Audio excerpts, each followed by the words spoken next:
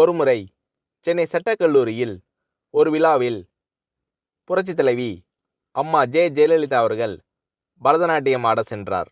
நாட்டியம் முடிந்ததும் அந்த விழாவிற்கு தலைமை வகிக்க வந்த புரட்சி தலைவர் எம்ஜிஆர் அவர்கள் புரட்சி தலைவி அம்மா ஜே. ஜெயலலிதா அவர்களுக்கு பரிசு வழங்கி வெகுவாக பாராட்டினார். பிறகு எம்ஜிஆர் அவர்களுடன் சேர்ந்து கதாநாயகியாக நடித்து அந்த பட வெற்றி விழாக்களில் புரட்சி தலைவி அம்மா அவர்கள் பரிசு வாங்கும்போது அம்மா அவர்களுக்கு கல்லூரி ஆண்டு விழாவின் நினைவுதான் தோன்றுமாம்.